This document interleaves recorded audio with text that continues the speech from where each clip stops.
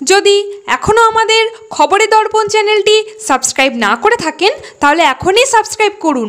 সঙ্গে বেল বাটনটি ক্লিক করুন আর পেয়ে যান সব খবরের দ্রুত ভিডিও আপডেট।